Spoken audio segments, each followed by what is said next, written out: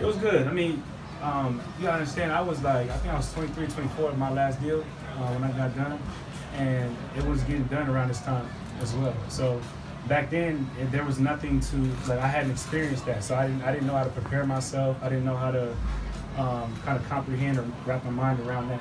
And so this time it was different. I, you know, it's my eighth year, and I, I know how to take care of my body. I know how to be in shape.